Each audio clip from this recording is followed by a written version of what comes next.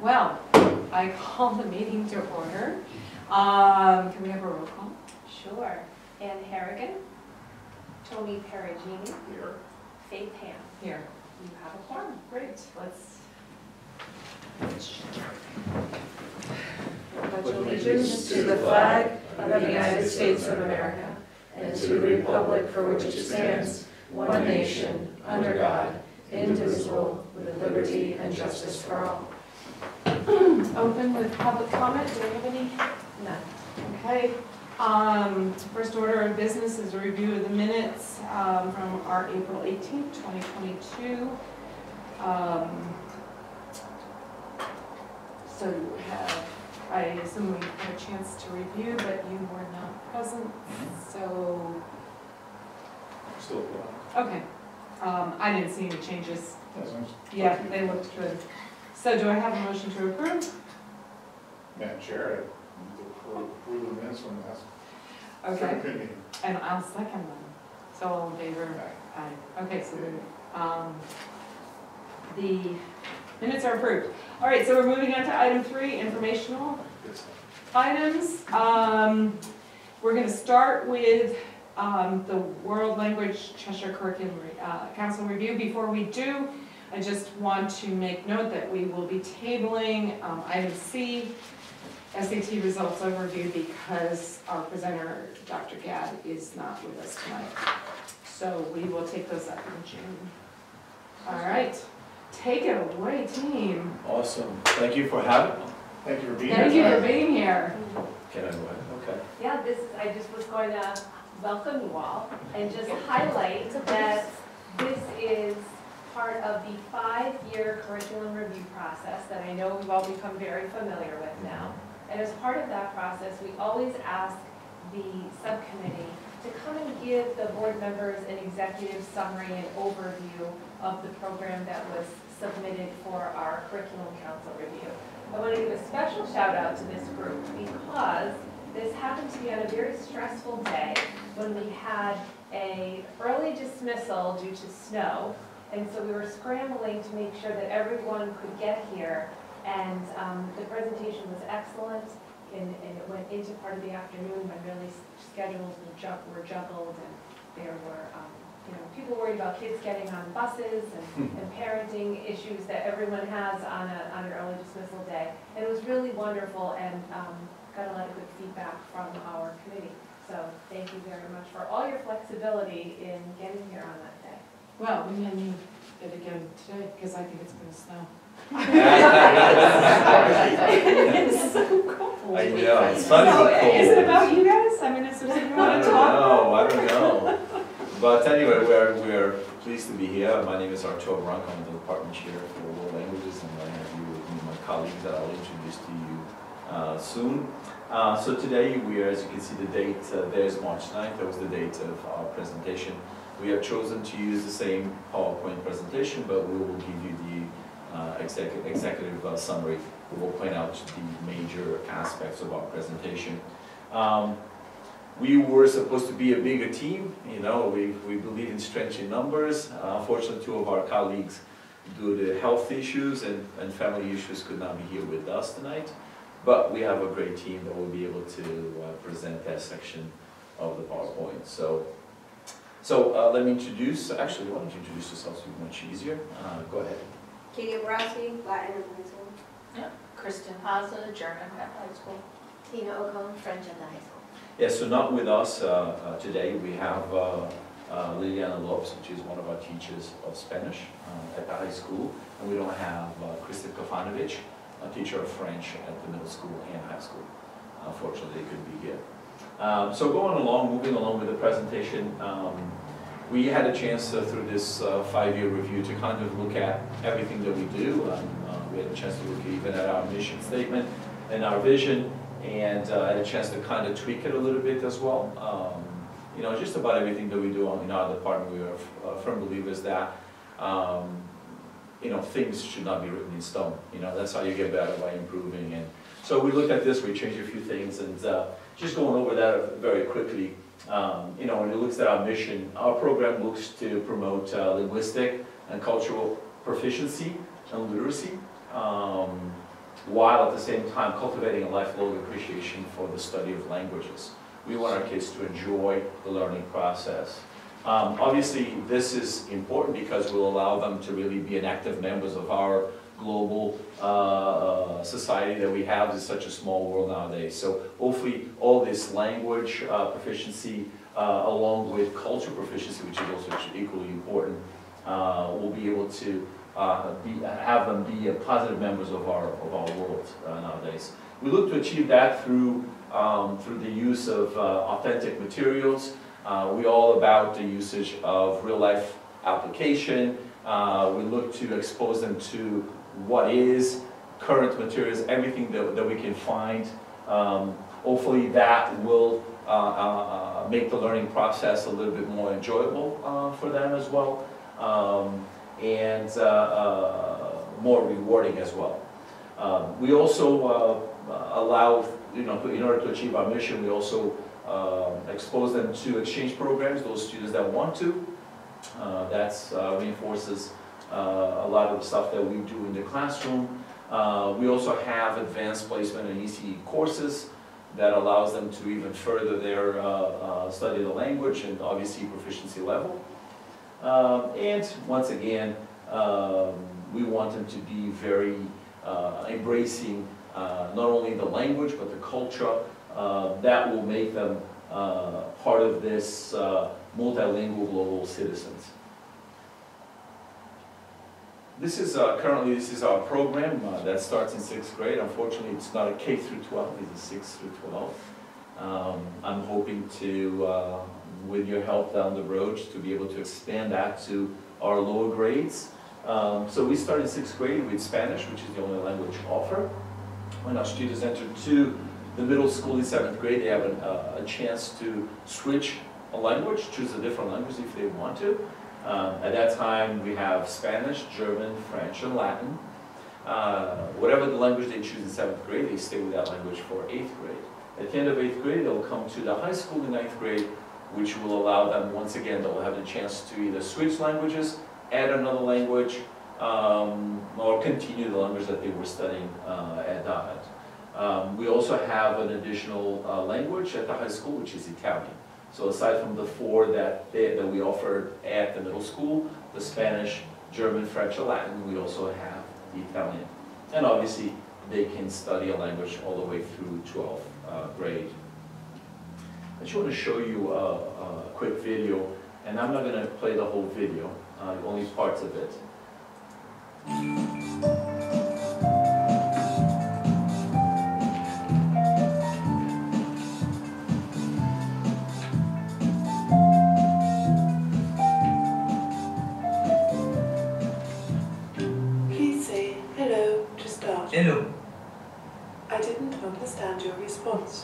Allô.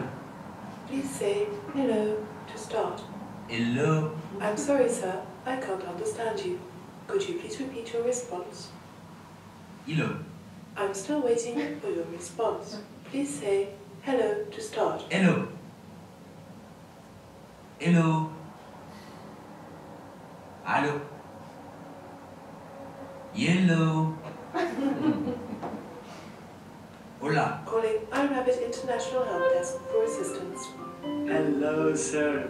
Thank you for purchasing the iRabbit, your own personal digital animal. Raj at your service, sir. Before I can help you out, could you please spell your name for me, sir? T. H. I.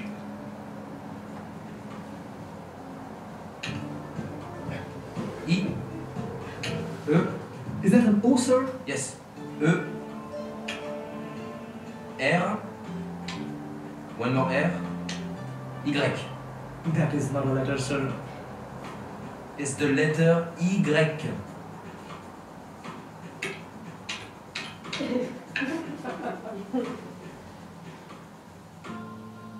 Can I just call you Greg, sir?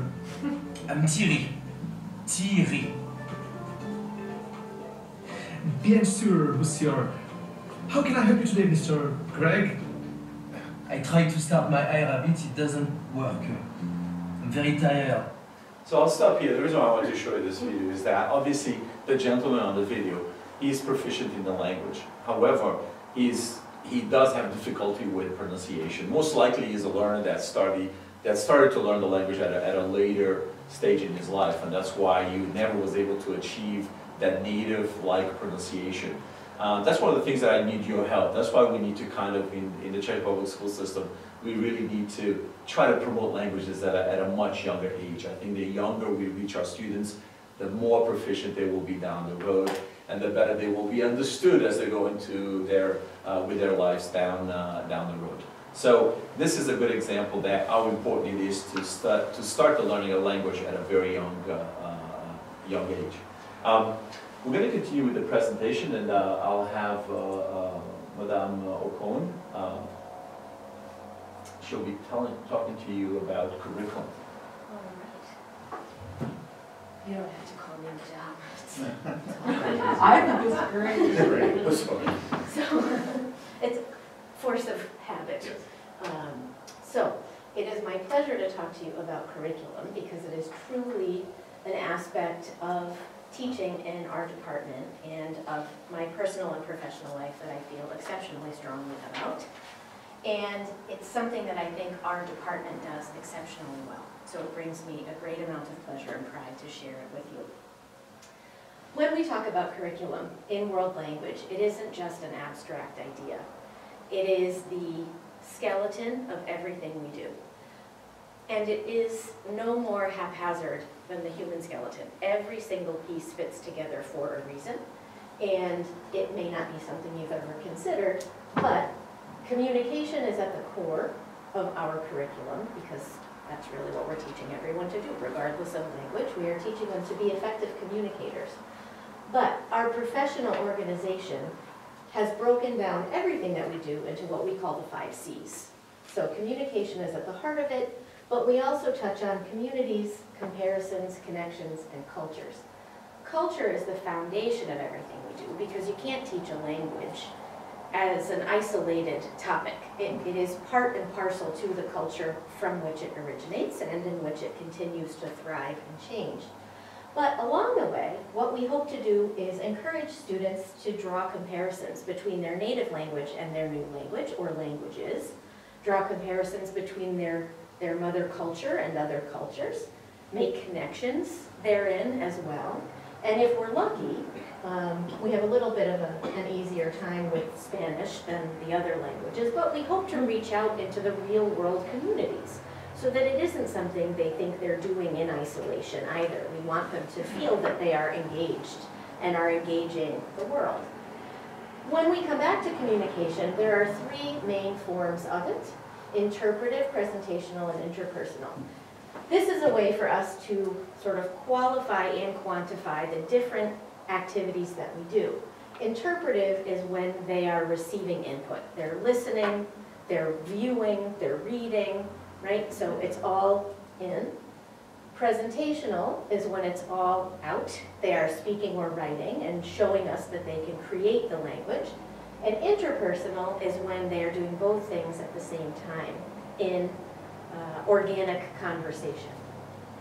How do we get them there? We tend to focus on what we call the four skills, reading, writing, speaking, listening. And across the board, meaning across all of our languages, although Latin does less out loud speaking um, in that language, they do lots of speaking with each other in class. It is a very engaging topic. I hear them, um, so I can attest to the fun that they have. Um, but reading, writing, speaking, listening, German does, French does, Spanish does. We all do. And what I love to talk about in terms of curriculum and why I think our department does it so exceptionally well is that even though we represent a host of languages, we all work as one unit. I have been with the department for 16 years now, and I can truly say that to a certain extent, the language that we teach doesn't matter because we all treat each other as equals and colleagues. Now that, especially the three and four of us here, are doing so much of our work directly online, it's really easy to share with each other everything that we do. And just about every day that we are in the office together, it's, oh, I heard that you were working on that project. Could you please share that with me? I want to adapt that to my class. Or could you please help me figure out this thing? I can't quite find the right piece to get the twos to work on this piece of grammar. And, and so we brainstorm together. And as Mr. Branco was saying, everything that we do is a living, breathing document. All of us use our curriculum every single day. That is not an exaggeration. It is not a document that sits in a shelf in a closet somewhere. We live it, breathe it, sleep it, sometimes don't sleep it. Like, we are all brainstorming all the time. How can we make this a real-life, authentic experience for our students? And when we come up with new ideas, we share them. We go right to our curricular documents, add things, subtract things, make changes. And in these last couple of years, dealing with COVID and new schedules, we had to adapt a lot, a lot, a lot. And so having a living, breathing curricular document that we touch often made that adaptation a little bit easier because we are used to doing that. And we didn't mind making those changes. I mean, aside from the horrifying circumstances of the pandemic, you know, we, we, we decided to roll with it, and that's what we do. Do we have another? Yeah, I'm gonna go to Okay. Uh, the accommodations. The commendations, I think, are kind of um, redundant, because between students, families, and we teachers ourselves, everybody was pretty much on board with being able to recognize the strengths that we have, because it really is, it's very transparent, it's what we do all the time. So, we agree that we use the current curriculum guides, we do, we really do. Not me trying to sell you something. And we are all very much planners. We all like to have a structure. Some of us adapt more on a daily basis, but there is a core that we stick to because we are committed to making kids as fluent as they can be, as communicative as they can be, as successful as they can be. And if we don't have a game plan, we're not going to get there. Um, Some of the things that we would like to have happen. PD time consecrated exclusively for teacher-directed collab and curriculum revision.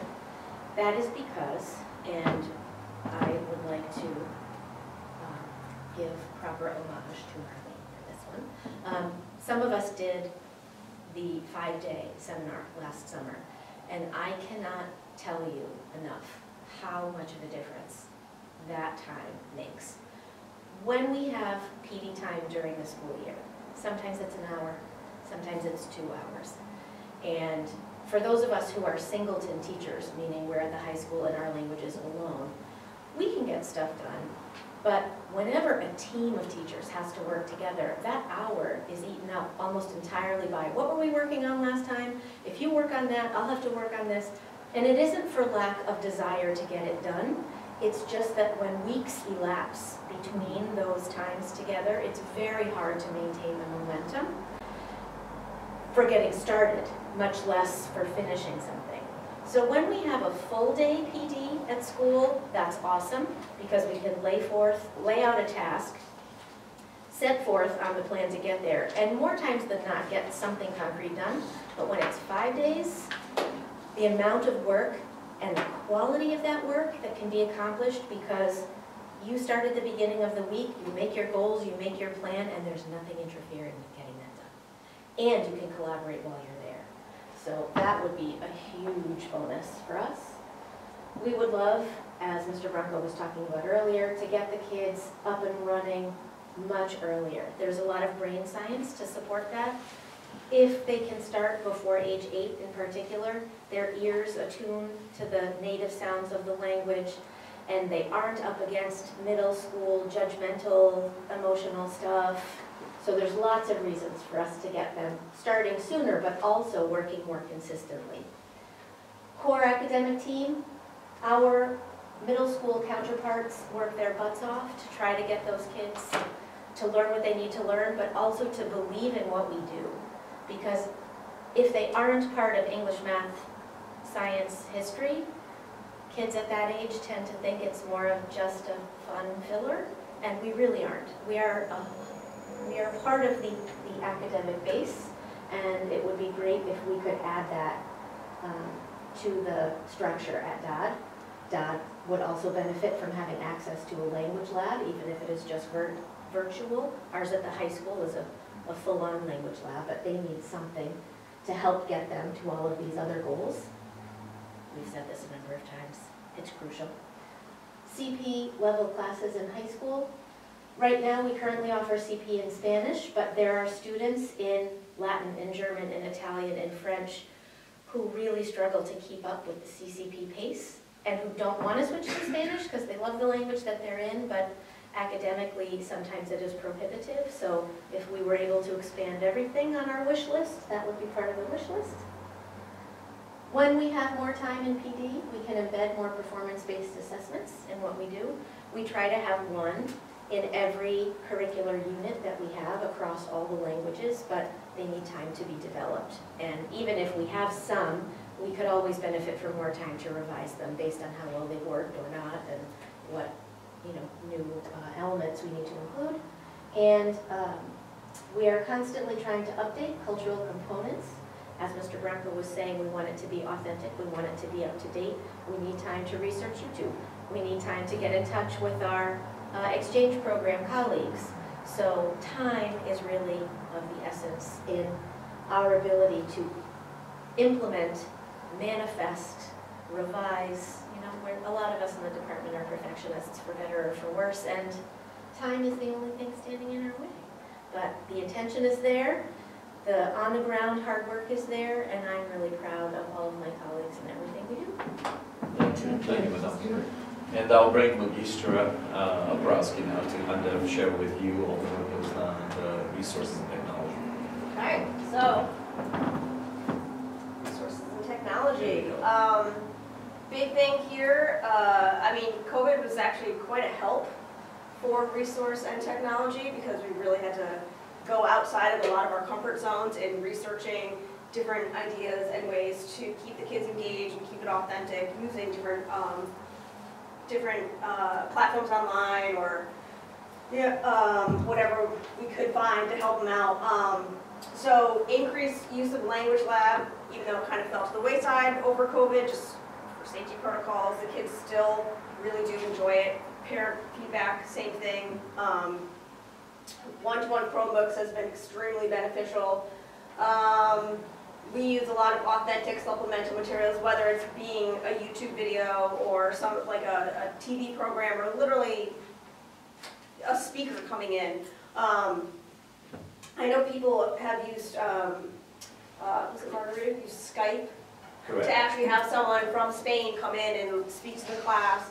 So these things have been great, but always be cool to have more. Um, increased use of online materials such as lots of stuff out there, which has been great. And I know for myself, Gimkit is a great tool to use for vocab review, grammar review. The kids are engaged. It's a game. It's fun. Same with Kahoot. Um, they, the Conjuguemos for the different conjugations, and that extends beyond just Spanish.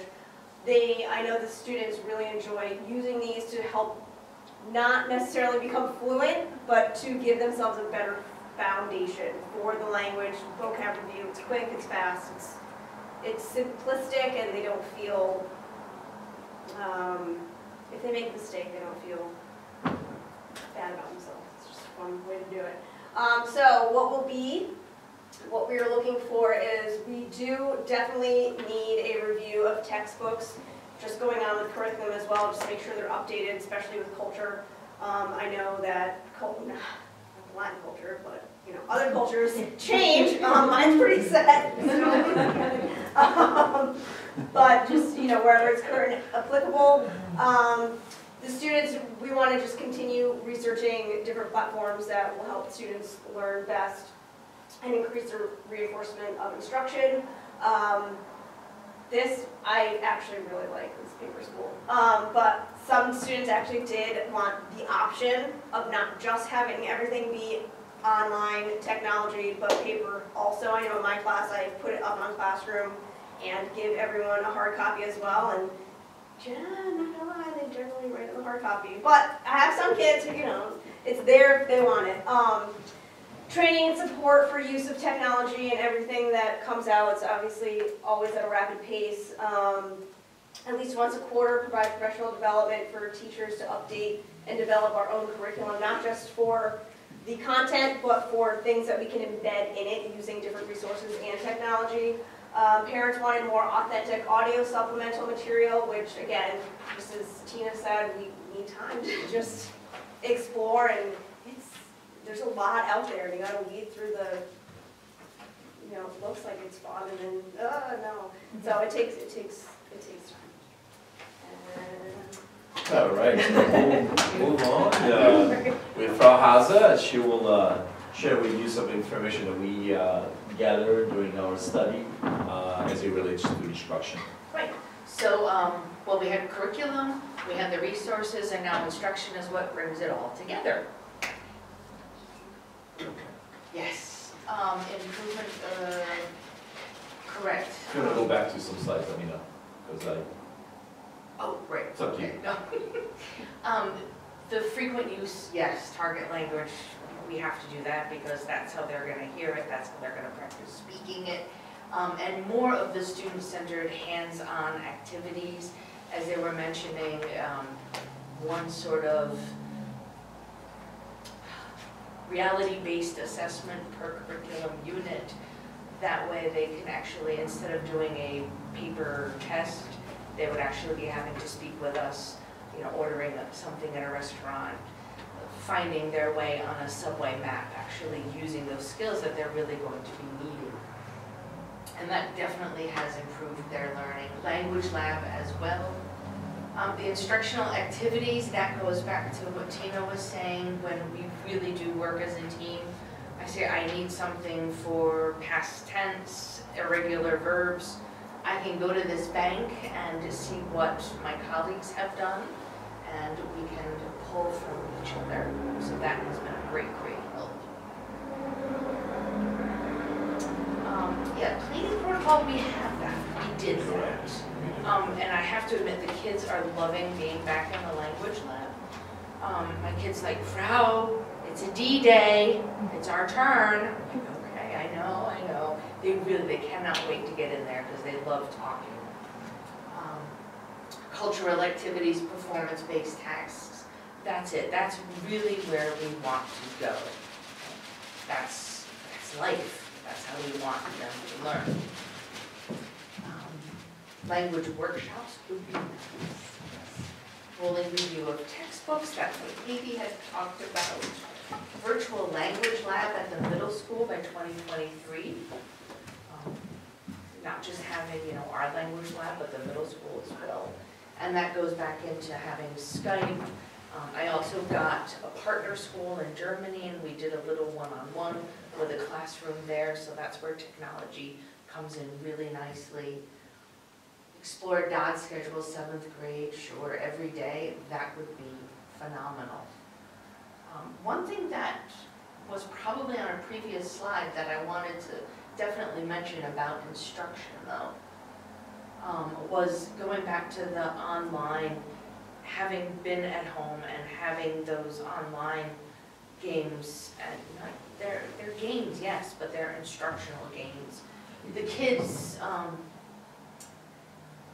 where was that? The second bullet. The second bullet? practice. Yeah, it, it definitely helped in their language acquisition, but the big thing I wanted to point out was when kids learn at a different pace, um, they can go back, and they said having those resources to go back and just study it on their own has helped them catch up, perhaps, by practicing that vocab. If they want to study for a test and they're not sure, they have that all in that one spot. So that was the highlight for instruction for me that I wanted to point out.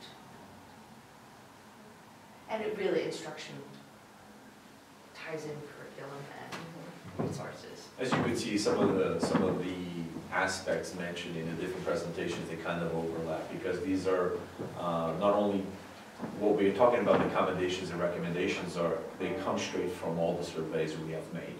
Um, So just for the sake of time, to give you a good gist, uh, these combinations really tell us what people think about our program, uh, not only the parents, uh, teachers, students. Um, So that kind of summarizes all of that. Uh, As uh, um, uh, Senora Lopez cannot be here today, um, you know, I asked Madame Ocon to kind of jump in and kind of go over the assessment for you. Um, And these are things that we all do, so we're kind of very familiar with what, what happens in the different facets of what we do in the classroom. Okay, okay. so a lot of this again has Correct. already been presented.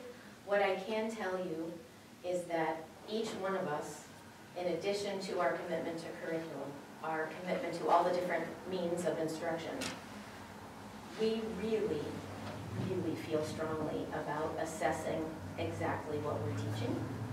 So when we talk about reading, writing, speaking, listening, we are giving assessments in all of those modes but we're also very sensitive to limiting what we are assessing to stuff that we've covered. Or if we're giving the kids a reach task, we know that it's well within their reach. Um, And I, I think that that is uh, an area of tremendous strength for us because a lot of us ask the students regularly for their feedback on timing, content, nature of assessment style. We sometimes give them choices in what they are able to present as an assessment. And I think that the kids have much greater buy-in in terms of the academics, but I've also seen a great change in the social and emotional stuff by giving them the respect of including them in that decision-making. It makes them feel important, and it makes them more willing to work with us and for us. So assessment is not just a static, old-fashioned, stodgy kind of thing. Assessment for us is constantly morphing. It includes creativity, it includes personal choice, but it also includes all of the skills. We have department rubrics that we've been using for a number of years that all of us use the same way.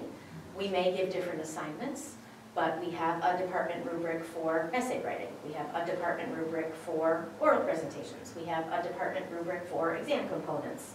And it is something that we have also given lots of feedback on. We have changed over the years to roll with how students have developed and changed and, and how our emphasis on certain areas of teaching have changed. So we really do live in eat it, breathe it all the time. Language lab is used for listening and speaking assessments as well. Super awesome to be able to do that for exams. We used to have to basically interview each student individually, which took a very long time. Now we can go in the language lab within a 15 to 20 minute window. They're all speaking and recording all at once, and then we can go back and listen to them later. That has been tremendous as well. All of our assessments aligned with the standards, which I mentioned to you at the beginning of the presentation, the five Cs, the four skills, everything lines up nicey, nicey, nicey. And we even have a department template for when we come up with those shared assessments or common assessments or unit assessments. And on that template, it lists for the students all the standards that we are checking off as we give them an assignment, so they understand the reasons why we're asking them to do what we're asking them to do, and all the ways in which it will be beneficial for them. Uh, Survey recommendations, we're going to continue doing what we do. Um, In terms of exploring the idea of changing the format of our exams to go in a more performance-based approach, uh, French has already done that. We are doing active reading, writing, speaking, listening components. Um, We're kind of the pilot team, and German is following suit, and Italian is following suit. And it's, I think, a really authentic and accurate way to be able to present to students and families, you are strong in this skill, you could improve in this skill, rather than just um, a score based on, uh, you know, a tally of appropriate, but nevertheless, you know, a little bit static compared to what we are able to do now. So we have these big conversations, roundtable conversations with everybody in the department. We move in that direction as each language feels ready to do so, when we have full buy-in, And I don't mind being the test subject because we get to do lots of feedback with the kids. We get to make changes, we get to report back to the rest of the department, what worked, what didn't. Um, So that is fine. Choice, I talked about this, balancing the skills, including culture, so that when kids present to us, they are able to articulate, well, this is why I use an informal you versus a formal you. Or this is why I would have to uh, use these um, modes of courtesy. Or this is why I, you know, it's, as I said earlier, it's not, a language is not something that exists in isolation. So the cultural stuff is embedded, it is inherently embedded in everything we do because it- it cannot be extricated. So we try to make sure that, that they are articulate in that. Uh, We want to be able to reevaluate, uh, take a look at the rubrics, collect data, and collaborate. This we just do. Honestly, mornings at breakfast time, lunchtime, passing in the hallway, we, we do it all the time, but it would be great to have um, more concentrated time, as we talked about earlier, so that we can use the same assessments and grade them the same way and make sure that we're supporting ourselves as well as students and all the the standards. At the end? Yep. All right. Thank you. And uh, we'll bring back uh, Magistra to kind of uh, share with you the information regarding the professional development. Oh, I know where this is going. I know, she's jumping in. Okay. Oops, that's all right. All right, so, what did we, There we survey go. results, there we go. So basically, big thing, teachers expressed that we would like more um, specific collaboration times among our languages. Um, We need more time, and again, PD time, just to be able to revise and improve our activities and assessments. Um, Time for effective planning for instruction, um, time to search and research new authentic resources, a possible textbook series of the elementary level, and that needs time to be explored as well. Um, More training for the language lab that would allow us to use uh, even more tools that could help enhance listening and speaking. And then different workshops that, I mean, I think most of us are well versed in Google Classroom, hopefully. But, you know, there might be some other additions that we overlooked or could always be improved upon other online activities that would just help enhance our physical classroom as opposed to just an online virtual. Um, so proposed what will be, so designated time on Wednesdays at two to three ten block to reflect on current practices and adjust instruction and curriculum as needed. Um, Specific, again, on Wednesdays for sharing ideas and strategies with colleagues. Increased training on Google Apps and various language-related technologies, and professional learning opportunities specific to world language, outside speakers, conferences, so on and so forth. But I really think the biggest thing here is uh, like full-day PDs for our department are just crucial. I mean, you know, as, as Tina and Kristen said, like, we're singletons at the high school, but we have a counterpart that's at Dodd. So when we do have these meetings, you know, on Wednesdays, we're not able to actually meet with our counterpart unless like through a quick text or like quick email or call on the phone. It's, you know, it's not, we just don't have enough built-in time to actually collaborate in the way that we would want to. Um, so the full day PDs are just, I mean, just designated time to just sit with our, our just, you know, our one other person and just, you know, hammer stuff out and continue with a, a really good plan that we can execute as we continue going forward. Thank you so much. Yeah, I mean, with the, with the PD, uh, also, it's, we need to learn how to maximize the time that we have. That's very important too. You know, it is difficult to coordinate with other schools because, you know, the time differences of our schedules. Um, on half a days are a little bit better because it gives us a little bit more time. Uh, but definitely, obviously, uh, uh, anyone will tell you that the full days are probably the best times that we have for, uh, for PD. Um, So, in continue with this, in the closing remarks, one of the things that we state up there, we say, our findings show, once again, a great deal of commonality, both within and across languages.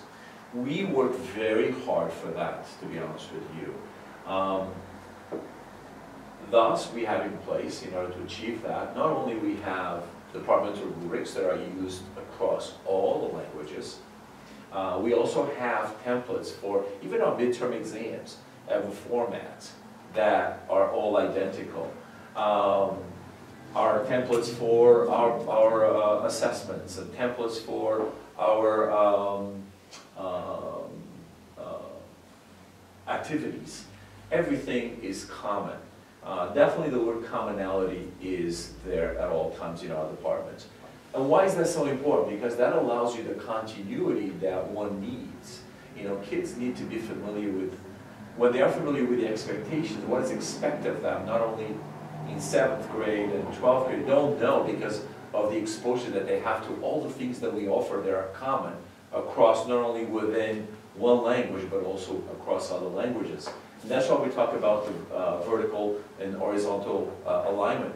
It's not just you know, to give kids, for example, in Spanish in year one, the same experiences, but also ensure that all the year ones, German, French, Italian, have similar, similar experiences as well. So this crosses to, into other languages. And we want to make sure that those expectations are clear. That's why kids see the same rubrics, they see the same format and everything that we do. So as they move on, they don't get like, oh my God, what is this? Nothing is new, they are familiar with it obviously the expectations increase as they move along. Um, so that alignment is very, very important to us. We work really hard for that. Um, the other thing that we talk about that you heard a lot was the, those skills. Um, it's very important, and we put a lot of time into it, and in our surveys it shows that, that people are very appreciative of that, that we try to balance uh, the four skills, which are kind of like the really tools that you need in order to be, uh, uh, be able to, to survive in any culture, you know, linguistically. But also the other aspect that people sometimes don't really give a lot of credit is culture. You need to know the culture very well.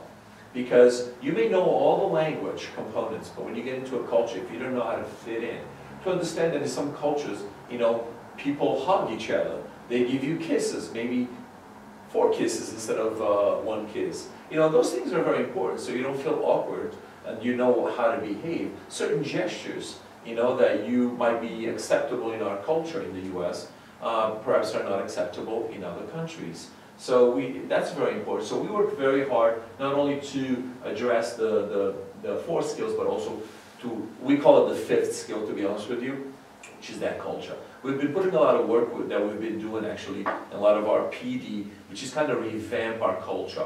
Um, up until recently, our culture was very much intro introduced and presented in a very uh, isolated way. Um, now we're kind of, you know, obviously languages like French, German, they are already ahead of, for example, in this case, Spanish. Um, they've been able to embed that culture in all that they do in the classroom. We're doing that now. We're, we're revamping our culture component of our curriculum. Try to make it part of our, of our units, part of what we teach on a daily basis versus, you know, stop and let's talk about, um, believe it or not, the, uh, the Blue uh, Angels um, ambulances that there were in some country that make no sense, was so very isolated and disconnected. Um, so we felt the need for this. So we've been working a lot on that because we do believe that culture is really an important component of language learning. Obviously, um, as uh, uh, Madame Ocon presented at the beginning when she talked about curriculum, she presented that chart to you very well. Um, you know, the five C's that she mentioned, they kind of are like our, our Bible. We follow that. Those are the important guidelines for us. Everything that we do in the classroom and out of the classroom in preparation for what we do uh, uh, for instruction and student learning kind of centers around those five C's that are definitely connected to the state and national standards. Um, one of the things that uh, COVID kind of brought to us, which is, was really nice, we were able to kind of uh, research and try to find some online platforms that are now embedded into our instruction. And kids really love that. And why do they love it? You know, uh, number one, it's made it more exciting for some of them to really learn the language. You know, uh, learning does not have to be painful. It can be fun. It's okay to be fun. You know, so they, they enjoy that. Um, also what it does is, as some of our teachers uh, presented before, allows us to kind of indi- individualize instruction a little bit, you know, where kids can kind of go through the learning process at their own pace on the need basis uh, uh, as well. So some of these plat- platforms are really uh, uh, very helpful to us. Um, and obviously exposes kids to a wide variety of aspects of language learning, different dialects, you know, so we really, COVID has been really beneficial to us because it really helped us uh, improve our plethora of, of tools that we can use in our instruction, which is helping improving student learning, which is, that's what we're here for. Um, obviously, the, the other component uh, uh, from all the surveys, the results also express the fact that really uh, people want us to expand our uh, world language program at the elementary schools. You know, uh, obviously they're very appreciative, and we are very appreciative that the town has really made a huge sacrifice for us to be able to offer that in sixth grade. But like with everything, we would love to expand that. And we're counting on you to kind of be the, uh, the force for that to happen, hopefully, uh, in the years ahead. I know times are not, are not that easy nowadays, but hopefully uh, things will change and we'll be able to rectify that uh, uh, in the future.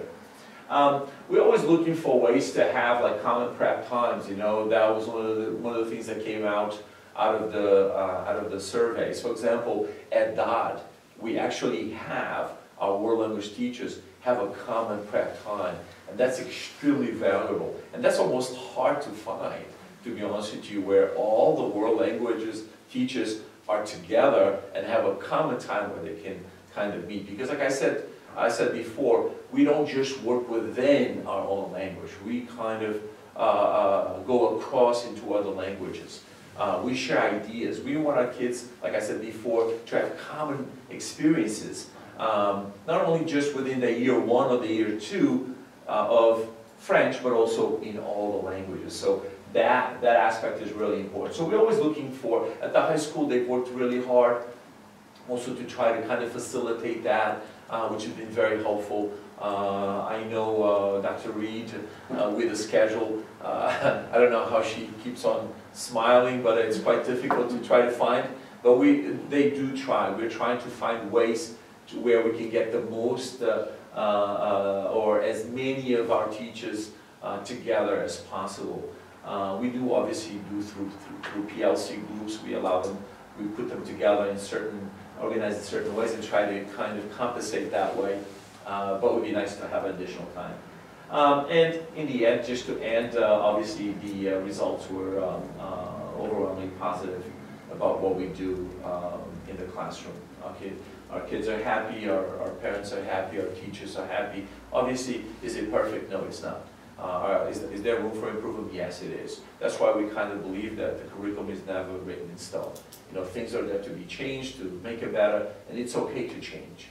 So that's basically it, to kind of give you a little uh, quick overview of, of, of our work, of our study, a five-year study. Um, we'll gladly answer any questions you might have, or even follow-up questions that you might have. We'll, we'll get back to you if need be. Thank you. Thank you. Thank you. So Yeah. thank you, thank you for being being here. tonight. Appreciate it. You're Yeah. one of the- Problem. You, uh, I just want to say, I see the passion in every single one of you, you're all excited to talk about this, I see the dedication, it's so refreshing, I'm not surprised our students are really, uh, taking to the languages. I, I got a lot of points out of this today. In some ways, it's, uh, it's, so I've been on the board for way too long. Fourteen, thirteen, whatever, fourteen years. And I remember several years ago, we were talking about expanding world languages, you know, early on every year. I think the goal about seven years ago was to try to expand it to uh, another grade level each year. I don't know why that hasn't materialized beyond sixth, sixth grade, but it's probably part of it, but I am certainly open to the idea, and I would say this, with the school modernization, um, phase one of the two new large elementary schools, uh, Hopefully that passes our referendum this year because we're gonna need the space, but there's an opportunity, in my opinion, when those schools are designed, um, because they're elementary level, if there could be a model world language lab for elementary schools, I would certainly support those schools, and think ahead about doing something similar to the rest of elementary schools as they have to be renovated over time. So you can, we can think near term that way. So I, I'm kind of curious, besides the physical plan to make this work, what else do you need to expand language, say, to the fifth grade? Is it more professionals like yourselves? Obviously, more time to collaborate, collaborate, dedicated, uninterrupted collaboration time, got it. Yeah. But how, how do you envision, how do you see this expanding beyond sixth grade? Where would you go next? Obviously, the manpower would be important, course, especially in this situation, just because of the amount of students that we, we work with.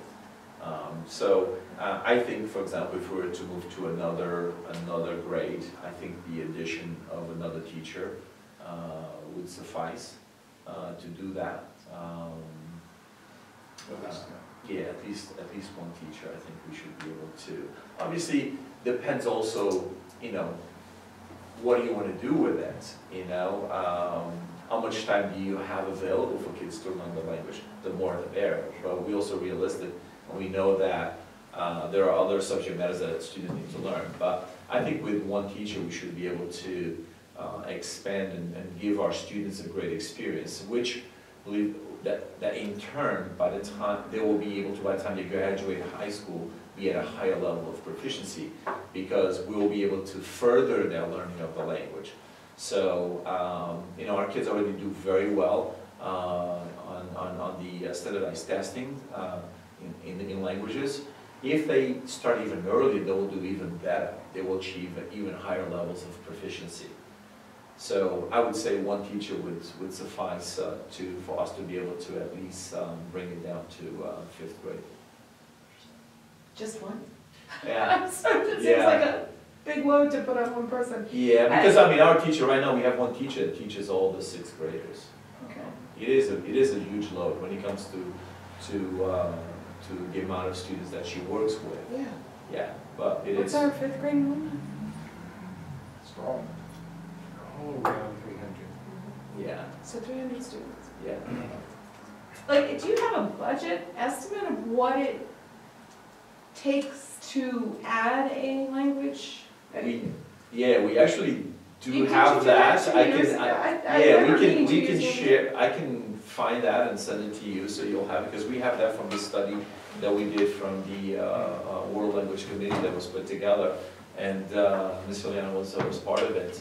Uh, so that kind of breaks down the different approaches of how to go about it and, uh, the cost of each, uh, additional year. Yeah, we do have that.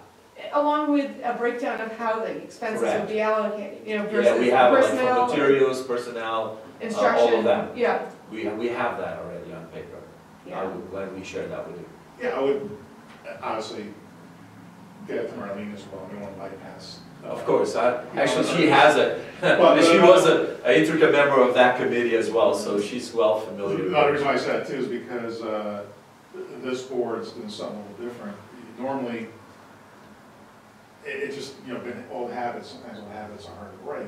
The boards usually don't talk about, um, we always talk about the needs, must-haves, right, then there's the wants, right? Like, uh, there's folks that think this is a want, I think it's a need, but we usually don't get into that until January, after the budget's been, you know, uh, drafted and, and at that point in time, it- it always seems like these advancements are put on the back burner every year so. And then sometimes board members have a new idea, and it comes up in January, and it's too late to even think about. So this time, we're actually looking ahead, and the finance committee, I think there's a meeting, We have one yeah, uh, uh, June. June, of these things to move the needle forward, this could be one of them. So if you can get those costs, and at least we can, the board can talk about it ahead of time and, and be prepared for it, versus we're always, guess, it's not a you problem, is more of a, so I, I think we find folks are very receptive.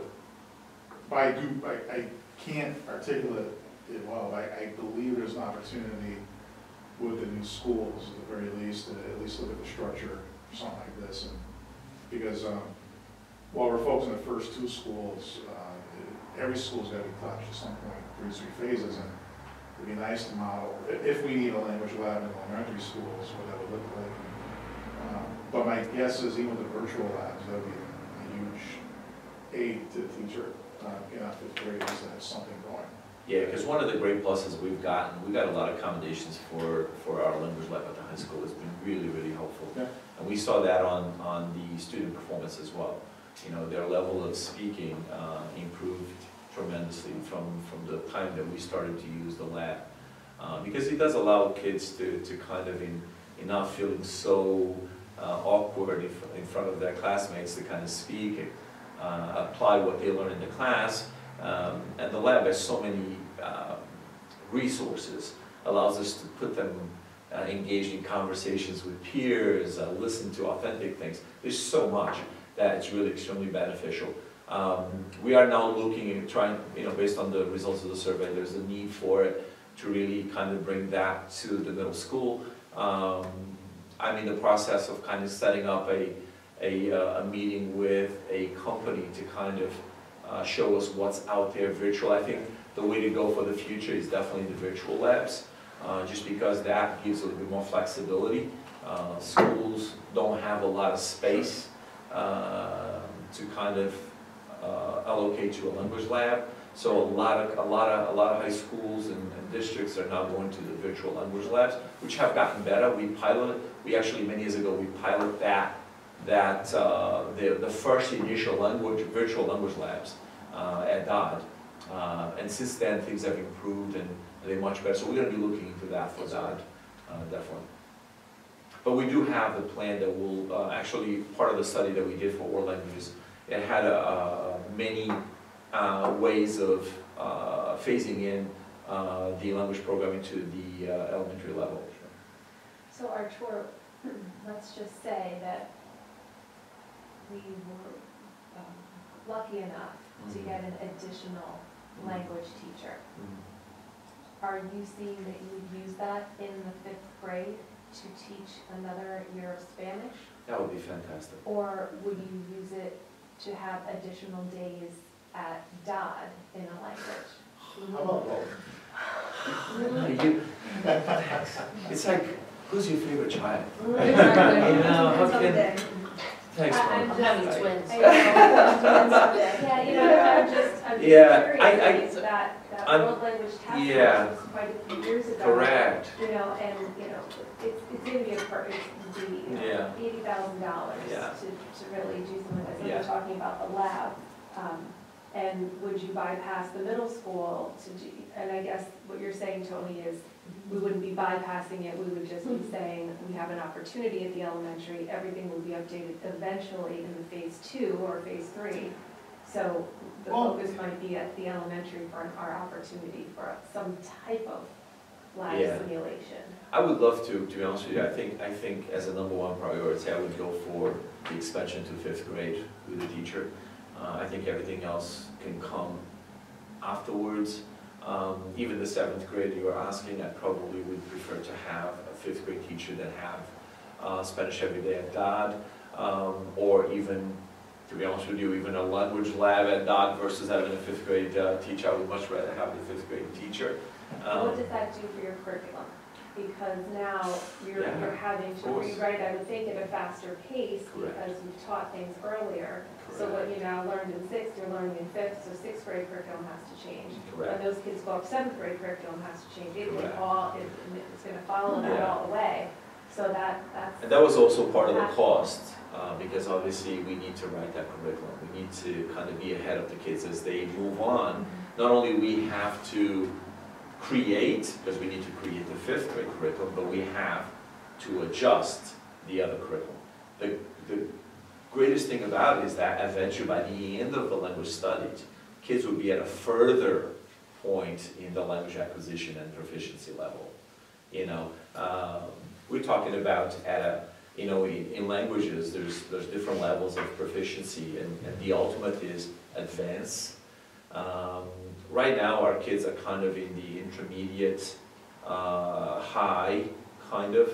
I think if we were able to get them exposed at early stages, we could advance some of these kids into uh, an advanced level of proficiency, which is a, a, an above work uh, ability of, of the language. This, these- So if I might add, Yes. um, I also think that it could help with retention because there are a number of factors. I mentioned social and emotional learning components earlier, but I really, especially in light of COVID, I have seen how much the need to address uh, social and emotional issues has, has become. It has grown exponentially. It has changed how I've been teaching. I know it has changed how a lot of my colleagues are teaching. And one of the things I think we're up against, as I uh, hinted to earlier, is that when kids are first exposed to a language during puberty, it's not just about which parts of their brains have shut down. It's about the fear of being ridiculed hmm. against their, you know, in, in the midst of their peers. And if we were able to start them on a language in fifth grade, many of them haven't, haven't quite succumbed to the, the peer pressures of puberty hmm. yet. If we could inculcate them in the belief that world language is wonderful, it will help them, it is beneficial, it's not something that's just a side dish, it is integral to what they do, then by the time they're in seventh grade, maybe it won't feel so weird. Maybe it won't feel so scary. And then, because they will have already had so many years of exposure and practice under their belts, even if as freshmen they aren't super fluent, because it takes a long time fluent, but it, it offers them an opportunity to be at a higher level when they get to junior and senior year, which for courses like our ECE courses, which are UConn Early Experience courses, maybe we could hang on to some who right now don't believe themselves capable or worthy of taking that class because it feels too unattainable. So if we could get them started earlier, maybe more of those kids would hang on and take the college level class. Right now, those numbers are, are frighteningly small, in my opinion, and I would love to make them bigger. I'm with you, uh, a little biased, as my daughter uh, graduated two years ago at Cheshire High School, and she ended up taking French. And, uh, you know, in hindsight, she always wished that was able to start earlier. So by the time she got her junior, senior year, um, and I'm, I'm a, you know, big proponent of, you know, starting earlier, you know, where sense, and so I- I'm with you on that. Um, So I, again, I'm sure, I know the rest of the board is also receptive to a lot of this, it's just we haven't really seen, again, last two years have been less than, you know, uh, optimal to, to get things, and we're starting to come out of this fog, from this pandemic, and, uh, I think it feeds, even Fa- Faith said in of our budget discussions, that we need to kind of move the real education forward, right, and doesn't fix costs more on our, our core education, so definitely open to this. You- I had, I had another question, um, it may not be relevant, if it isn't, just let me know. How, how about English learners, how does that fit into this? Because really for them, that's, English is a, is a new language. right? Is, is that done outside of the, yeah, completely, sorry.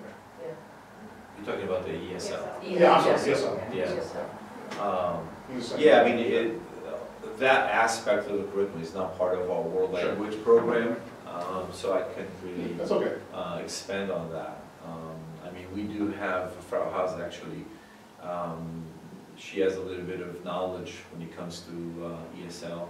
Uh, She's actually mentoring uh, our uh, ESL teacher. ESL teacher, so she might be more familiar with that than I am. We actually Um, have a presentation on it coming up later. Oh, Yeah.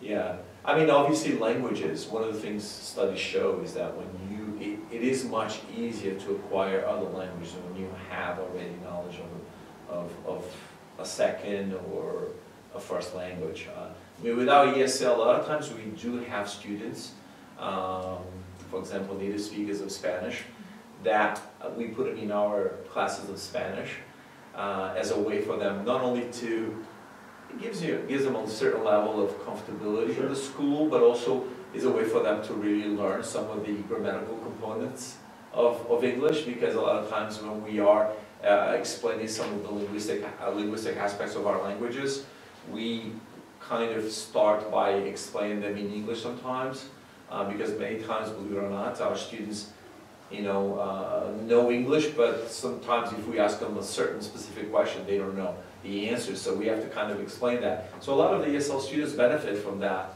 from that learning in our language classes. Uh, so it serves a dual purpose for them. One of them for them to kind of uh, feel good about themselves, getting used to the school, and at the same time, being exposed to a little bit of, uh, of the uh, language uh, learning process.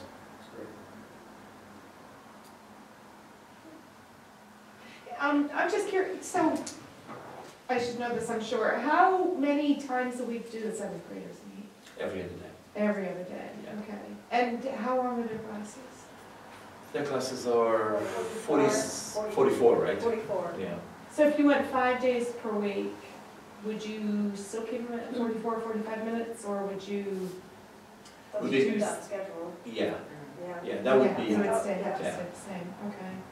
Um, yeah, I should think though, if you were to, if you had to make the trade-off, you know, I should think if you were introducing the language in fifth grade, they, you've said this already, they would be that much further along, so if you didn't get that five day per week, so it, it wouldn't, um, perhaps be as, as.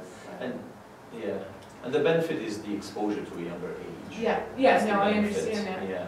Um, with COVID, did you, have you seen, it didn't sound like it, but any measurable learning?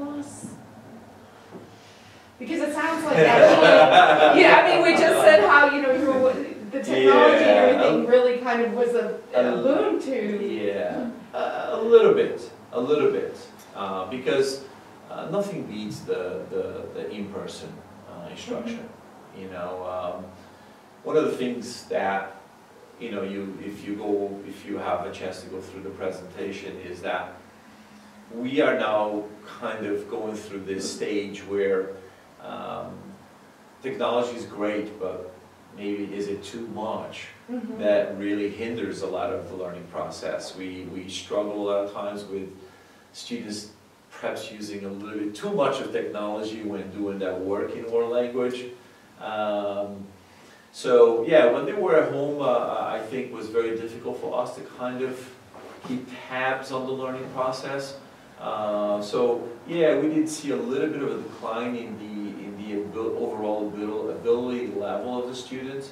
Uh, But this is something that we've been working the past few years, that we've been able to kind of catch up. And uh, uh, we foresee that within another year or so, we should be at the levels that we were prior uh, pandemic. You know, with acceleration, we'd be able to kind of compensate for some of, not even compensate, just kind of move them along a little bit better. Um, And uh, uh, students are now uh, starting to produce at the level that we were used to. And was it in a particular um, area, so either in, Go ahead. It is not for our lack of trying. no, I know, I know. What I, what I saw happen, and, and we have had these conversations many Correct. times, many of us went above and beyond to adapt to the new reality in which we were living, um, and do so on the fly, because we didn't want to lose ground with our kids. Mhm. Everything that we do, in addition to all the passion that you saw here, the simple fact of the matter is, our subject area is of a nature that is entirely cumulative. So if we lose ground, especially for us, because we are the only full-time teachers at the high school in our respective languages, if we lose ground, it just comes back to hurt us. Right.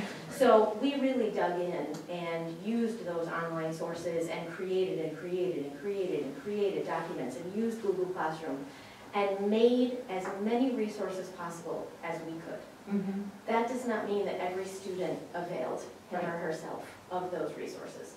And sadly, because we weren't able to see them all on their cameras all the time for every remote session, we came to the conclusion, sadly, that some of them were not focusing as much as they would have or could have or should have were we in an in-person setting. So what we've seen is not an across-the-board loss, because some students, God bless them, are just intrinsically motivated and want to do their best all the time. So some kids, even though they were full-time remote or part-time remote, and we adapted, you know, to changes based on who was sick and who was home and who was in, Mm. I think we really did everything we possibly could to maintain our same standard and our same expectation and complete the same amount of curriculum. And we dug in and did our very best at that. Some students did the same, and Yeah. some not. And I think part of that goes back to the social emotional stuff too. We had some kids who just fell apart when they were home, And it was a struggle just to keep them in a healthy, emotionally more or less balanced place, and academics became secondary. And we tried to adapt with them as best we could too. And then as Mr. Branco has articulated, in the time since, we've tried to catch everybody up as best we can, extra help sessions, more resources online. Um, You know, we, we've done everything Plus, we you know, can. you know, we, and not just schools, but, you know, entire Life. country, even on employers that throw Zoom and Mhm. Teams all of a sudden out with everyone. So it's not as if the kids were spending an hour or two a day just on Zoom language, it was the entire day. Yes, Correct. yes. So that, so, you know, that was working a bit against you Yeah. too.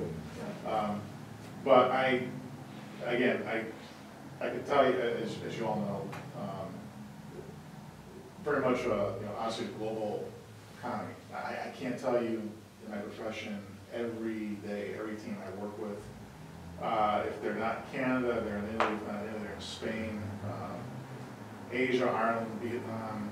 It, it's, it's, and what's interesting is, the common language is English, right? I- And there, and there's, I wish I learned Spanish better. Uh, I'm, s- so I'm still learning English at this age, because when I, I remember my first day of kindergarten, I couldn't speak English, all all I knew was Italian. And uh, so I appreciate the fact that this is out there now, but, um, you know, our kids are graduating to, you know, a very diverse culture, and business in particular, um, is all over the place. And it, it'll be nice to be able to speak some of those languages and, and and build that credibility, appreciate culture. So, I, you know, I honestly fully support this. I wish I had a money tree I could keep shaking and get more and more every year, but you know, like anything else in our curriculum, if we're not chipping away at it every year, we're gonna get there, so I, I think there's opportunity to definitely expand this. Yeah. No, I think we should look at it, We- and, you know, let's get the budget now, Yeah. and not December, or even November, I mean, the earlier we get it, you know, my, my big concern, I've always, uh, I've been touting this one for a while, is just how limited our instructional ex- expenses are, or, you know, that instructional element of the budget is, and, and how do we finesse that? Um, I think that's, it's possible, but I think, you know, we can't do it in a five-day period in January. We gotta know in advance how, what we're looking at, and then where we find the, the monies, and, um, so, um, let's, Yeah. I- let's just pile more work on you, huh? That's so good. Well, it sounds like. We have it, it's written, so Yeah, it's no, not it's not I know. bad, it's not that But bad. uh, one thing that really struck me is you just, you know, is, um, the fact that the kids are actually asking for hard copy materials. Yeah. And I, you know, way back when, um, I studied French, which was just after French was discovered, I think.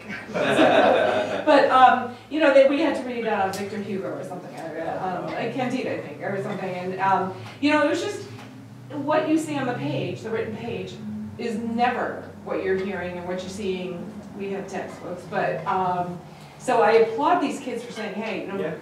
um, let's get something in hand, and, and whether it's newspaper articles or, or, uh, actual novels, or, um, and I know that there are folks who say the same thing even in our, um, language arts program, you know, just, the, the, the beauty of having something. Correct. I mean, I well, it's just very- like, my, especially my Latin three class, it's probably, I mean, AP is its own beast, but like, it's the most difficult. It's the most work, it's the most grammar, like, Yeah. it's hard grammar, it's the end of their grammar, and then turns into kind of like a lit class and a different language, Right. like, what is happening?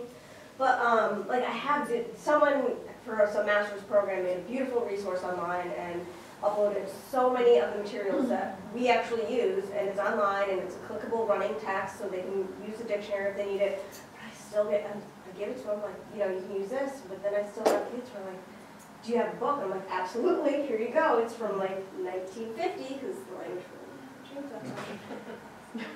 Um, and they just prefer it, and, you know, or they'll have both going at the same time. They'll look in the, Correct. at the actual Yeah. text Yeah. and have the, the online, because it's just easier to find the vocab, and it's just, Right. I mean, But even to be able to, you know, to write the vocab and the Oh, yeah. margins and have it Yeah, up just there. And and- writing makes just it writing, and that's why I Yeah. learn better. Yeah. And the tactile memory aspect of it, Exactly.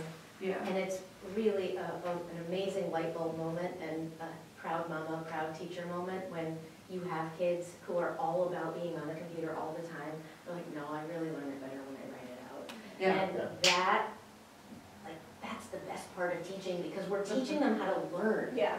You know, we're not just teaching them our content, but we're getting them to be aware of their own learning process as Right. they go. Right, And how sometimes old-fashioned stuff, you know, it's good for a reason, and yeah. it's good. That's great. That's good. Um, and then the Institute, how many did you have and what do you, last year, and what do you expect? Well, I guess you're finite Yeah. number of teachers, Yeah. but, um, how many do you think are gonna be participating this year? So we had, we had uh, three of us that participated, so my goal is to kind of have all the other languages as well exposed to that. So once again, we want us to be on the same page. So this year, we have three new languages going there. So we'll have Latin, we'll have Italian, and we have German. Uh, They'll be part of it. um, Because I think the, what we've learned there is important, is vital for what we do. Um, That I think the, the more of us that are more familiar with the aspects that were presented at that workshop, the better it will be for us when it comes to common, uh, commonality, uh, consistency, you know, for all the things that we do in, in our department. So we're gonna have the other, the other three languages go, and then hopefully the following year we'll have, we'll expand it to have some of our middle school, uh, uh, colleagues as well. Uh, but that's what, uh, what we have in plan right now. Um, All right, and then just finally, um, you were asking for full day PD. Uh, How many do you now have, and what do you think your needs are? They have two now. Correct. Fall and spring? Great.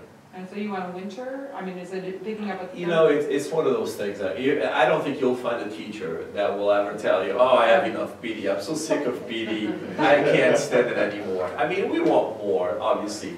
Uh, we understand that there are some restrictions and certain aspects that really, uh, don't allow us to have as many as we want. We just find those, we just wanted, like, through our findings, people find those full day PDs to be the most rewarding and the ones that we're able to produce the most. Well, it's departmental. And Yeah. because, eh, that was my next thing, because it brings us, puts us together, you know, six through twelve. Mhm. Uh, not only allows us to be within languages, but also sometimes together as a department, you know, the sharing that we talk about, uh, between what's happening in German, what they do, and share with, maybe we can borrow that and use it in Spanish and so on. Those days are vital for that. Uh, the other days too, I mean, obviously the half days are very helpful, uh, allow us within the building to do certain things. Uh, um, you know, even the, the, uh, the Wednesday, the Wednesdays is, you know, that, that hour at the end of the day. Um, obviously, it's hard to kind of make big productions, to produce huge things on those times, just because by the time you settle in, by the time you really put your thoughts together, uh, it's over, you know, but we do, we do, that's why I was saying before, I think we also need to learn how to maximize that better, you know, as a department, and try to find a way to really get the most out of those, out of those days. Uh, we work hard to try to kind of, uh, do what we need to do, uh, but obviously the full days, uh, anyone, any teacher will tell you are probably the best, period. All right. Well, thanks, I'm, I'm. Thank you. You good Thank you, enough? this is great. Yeah, this was great. You're welcome. Yeah. Thank you so much for listening, and, uh, Sure. We'll definitely, uh, you know, through Marlene, we'll Yeah. pass that on to you, the, um, the budgets that we had, in, uh, that we came up with on our task force for world languages many years ago, so you can look at it and see how that would implement nowadays. That'd be great. Okay. Good, thanks. Beautiful, thank you. Thank you so much. Should we? We should. Can we just sing happy birthday to? Oh, oh Wow, You had to do that, did you? I'm surprised you kept it quiet. Happy birthday to you. No. Birthday to you. Happy birthday,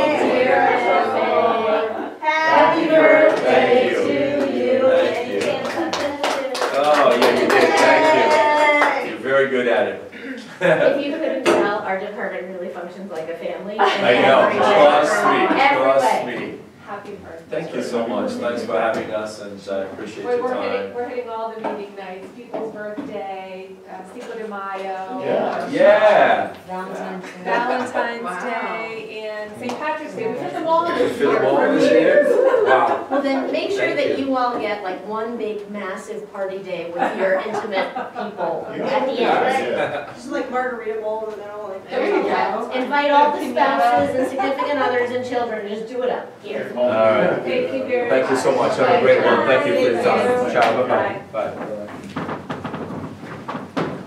Okay, so next up, we are going to discuss the LAS Links assessment.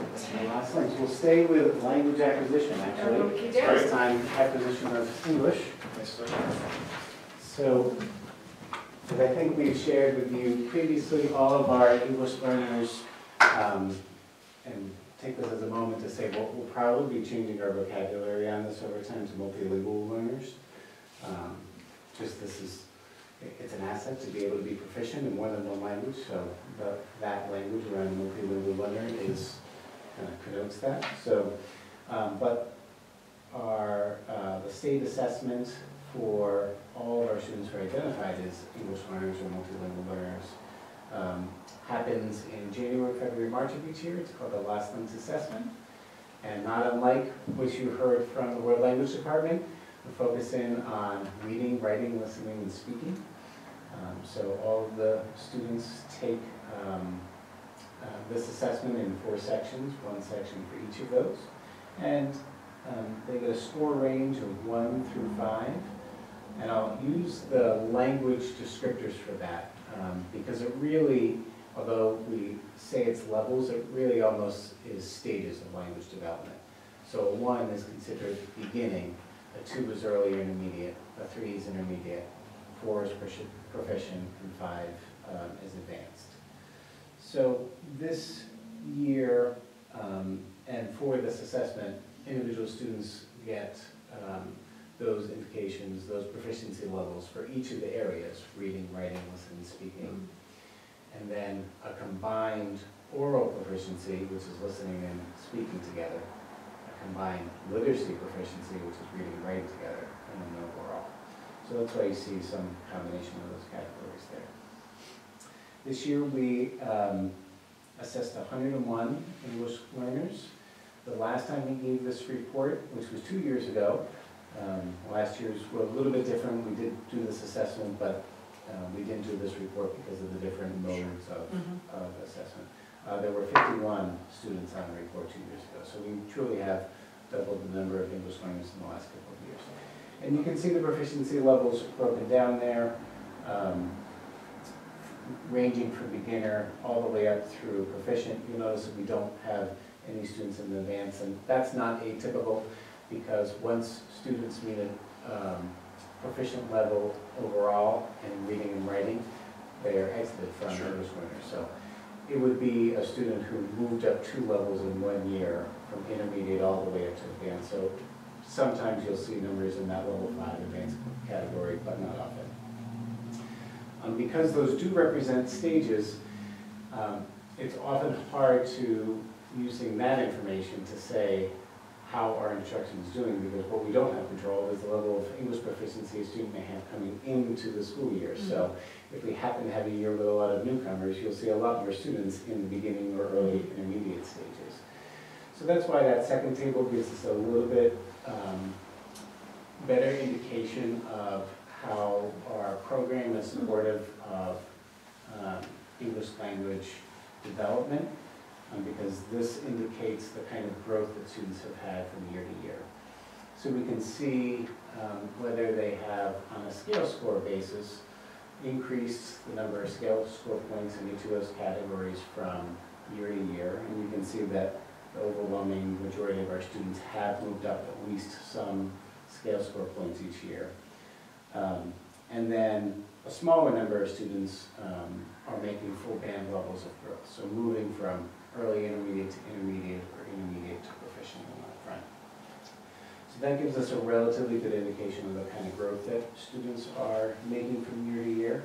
I view this largely as um, positive growth, both in the percent of points gained and also band growth. Um, It's it's an indication that students are, are moving along pretty well. Of course, the higher the numbers in any year, the better off we're gonna be.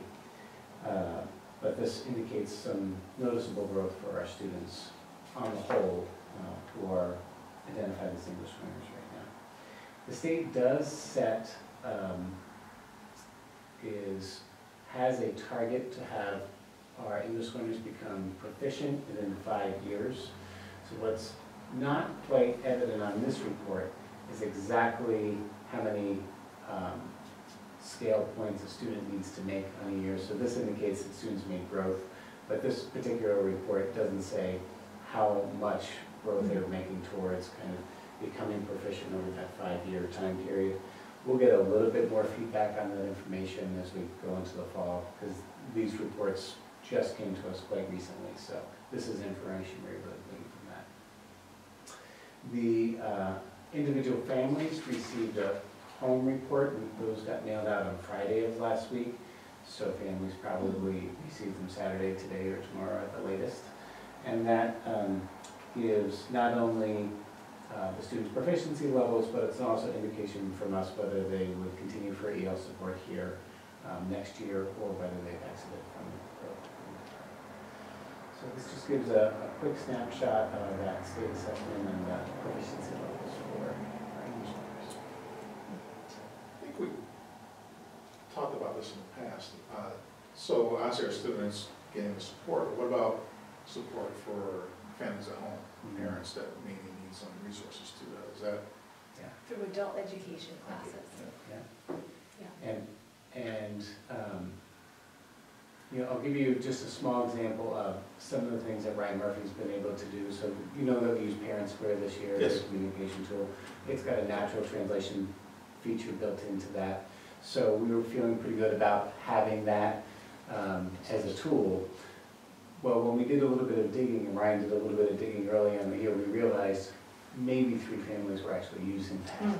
So Ryan was able to connect the dots with the families who indicated that they had wanted um, some translation support and help make sure that they can enable that feature and know that feature was there when we're announcing it. So um, there are the supports like adult ed, and there's also these smaller things that we're tuning into more and more that we can do to make sure that our, our families are well connected and So are we seeing the same thing in terms of participation with parents and adult ed in the, it's there, but not as many parents are availing themselves of it? So we can't assume that not every parent of an English learner isn't multilingual. Right, So there's that piece of it. right. Um, we also, you know, depending on, um, well, depend, depending upon a lot of things, but we certainly have quite a few families whose, whose, the parents are participating through adult ed. Okay. If they can't participate here because of whatever the timing, we're also able to refer them to other local Mhm. adult ed programs. And then looking at the differences between the elementary and the secondary, and I'm just looking at overall proficiency, you know, there's, it- clearly the secondary level is, does not perform as high as the elementary. Is that because we've got siblings in programs and they're coming in later in their language development? Um, and we've got, you know, these little kids coming in and, you know, they pick it up like this. I mean, is, what, what, what's, what do you think's happening here? There's, um, there's, if you remember back to the fall, we shared a little bit about the numbers. First of all, there's a lot more elementary. Right, And the typical grade level where students kind of test out is fourth and fifth grade for a lot of the reasons that you're just, um, that you're just indicating. So if a student has been, um, immersed in English instruction, um, for a number of years, um, it is often the case that they'll develop proficiency and Mhm. test out on that front. Um, Sometimes students have five or six other things going on as well. Sure. So this doesn't filter out, filter out any of those things. Uh, Additionally, what this, what these numbers won't show is whether a student's a newcomer or not a newcomer on, Right. on that front. So it's a little bit hard to to parse out on that front. Um, In this particular year, we're really only talking eight students at the Oh. secondary level. okay, So those percentages may be a little bit skewed. Okay. Um, All right. Yeah, that's obvious. Okay. All right. Thank you. Thank you. Is there anything else you wanted to add? I should add, adding that you wanted to. I, I think I'll just reiterate something that we shared in the fall, you know, we're, um, have been very proactive about making sure our programming is, is solid. We will end this year with three TESOL certified teachers, one in each grade level band, elementary, middle, and high school, which is not a level of expertise that we've had, um, here before, so, um, we are very mindful of the fact that this is a growing population. We need a level of expertise here for all of our teachers to help support uh, language development. I think we're, we've been good about being proactive in, in doing, um, in doing that. So I'll just add that to. to Okay, so since you've added that, what, what strikes me is that we did not, this is our first year with having three instructors. Two are, two are, uh, will be certified by the end of June. So, uh, I guess I, I, you know, asked about learning loss and kids falling behind. This, it must have truly impacted this, um, this student cohort, I, I would think. I mean, you know, they, I'm gonna say it depends. um, okay, But if, if um, students acquire, people language by being immersed in the language. So where the pandemic did not allow students to be immersed in English as much, their English development is probably, their English proficiency growth is probably not as strong. So that could be a few things. That could be um, being remote for learning and um, not being as immersed as much of the day uh, in, in a rich language environment where you can get all the nonverbal cues as well right, that are going to help with your language acquisition. Um, Too early on uh, in the pandemic with people being a little bit less social, right? Um, Right. Keeping, for safety reasons, keeping to themselves. So where that was a situation for families, there is a good chance that their English development did not move as long as much as it would have otherwise, so. But it's, it depends, kind of comment. Thanks. Okay, last but not least, um, let's go. Um, Just review of the the materials. And are these the copies for them? Um, that's just the, uh, well, all the materials are there, and those are the books that we would go forward. So these are um, for a dual enrollment course, Mhm. and um, they, uh, Tunxis is actually paying for it the first year. Yeah, it's always good news, right? That is good. No, that's, that's, Yeah, that's- um, but beyond that, we'll have to pick up, you know, somehow. well, it's also the college credit too, right? Yeah. And so I- it's, I think it's great. Yeah, so these are the materials that they're putting forward, and actually Tunxis is requiring us to use the materials. Is it primarily textbook, is there any uh, digital content that goes along with it, or is it? Um, there is, there is a digital piece with it too. It's not completely digital. No, no, there's this. Yeah. So I'm just, um, Associated with accounting too, is that? Yes. I was gonna say, is it, what level of financial, is it kind of a generic, is it?